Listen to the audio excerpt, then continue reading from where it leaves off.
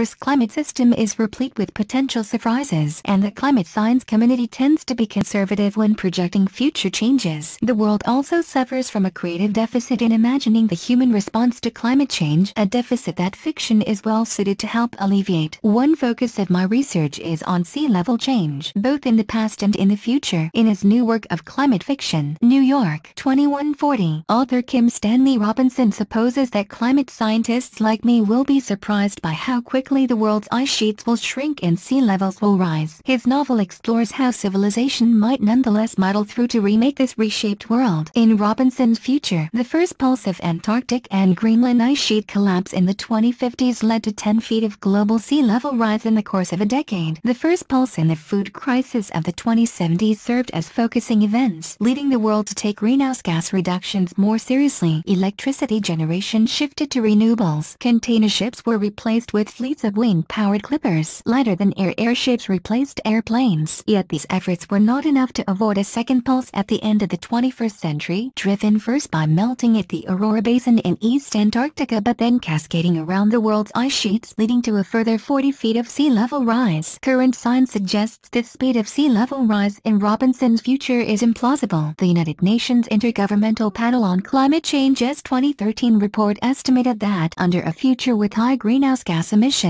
global average sea level would likely rise by between about 1.5 and 3 feet over the course of the century. My research group's projections generally agree with the IPCC's assessment, but the IPCC assessed only what is likely. Our group's work also suggests that sea level rise as high as about 8 feet by 2118 feet by 2150 is physically plausible, though extremely unlikely. But there's a lot we don't know about the behavior of ice sheets, particularly those like the West Antarctic and parts of the East Antarctic including the Aurora Basin that sit on ground that is below sea level. For example, warm water can attack submarine ice from beneath. If the ground underneath the ice sheet is sloping the wrong way, deepening toward the continent's interior, the water's advance will set up a self-sustaining cycle that exposes a growing cross-section of ice to erosion. In addition, ice sheets can form unstable ice cliffs at their margins. A recent study that incorporated the collapse of ice cliffs found that under a future of high emissions, it may be significantly easier to get to 8 feet by 2118 feet by 2150 than previously thought. Still, even that study could not produce Robinson's 50 feet until after 2200. Robinson's novel, however, is not a scientific projection, it is an exploration of human resilience in the face of extreme pressure. There are four basic ways coastal communities can respond to sea level rise, suffering damage, developing protective infrastructure, finding ways of accommodating flooding and retreating from the coast. Robinson's New Yorkers engage in all four, and Robinson's vision of accommodation is profoundly richer than in the imaginings of adaptation strategies developed by national, state and local governments. Despite the environmental apocalypse, life carries on in a flooded New York that has remade itself as a super Venice. The submerged streets of lower Manhattan have turned into canals, crisscrossed by pedestrian high lines. Vaporettos have replaced taxis. Skyscrapers whose bases have fallen beneath the waves are protected by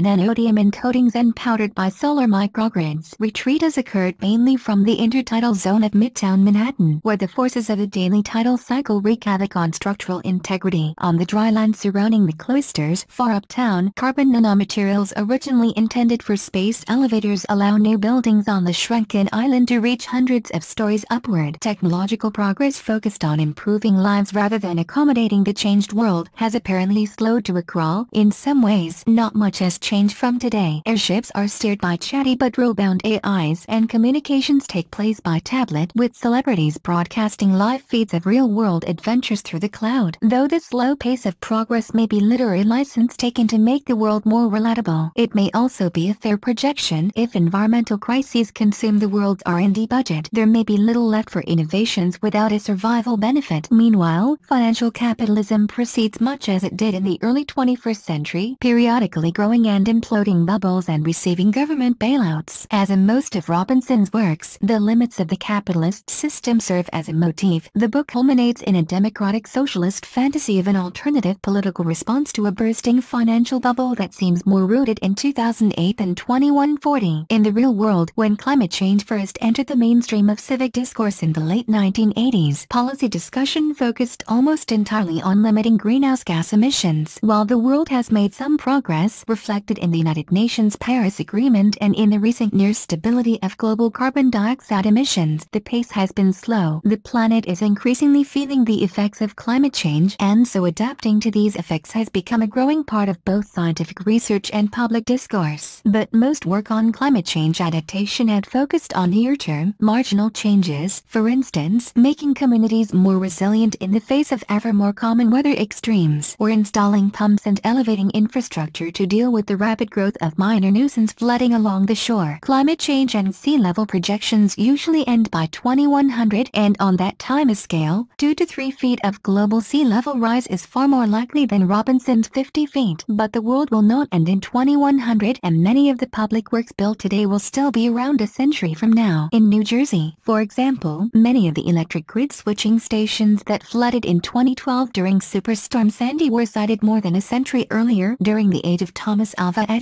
So climate fiction can play a critical role in the face of the large-scale experiment we humans are conducting with the world's climate system, inspiring creative rethinks of the designs and technologies needed to reshape how we relate to our environment. Science tells us that by reshaping our global energy and agricultural systems, we can avoid the magnitude of planetary change that Robinson depicts. But to make those changes and to adapt to the changes we don't avoid, the world's best minds need to focus not on new apps or financial but on the civilizational challenges at hand. Works like Robinson's, starkly beautiful and fundamentally optimistic visions of technological and social change in the face of some of the worst devastation we might bring upon ourselves, can inspire that focus in a way that myopic discussions of the near term or grim apocalyptic tales cannot.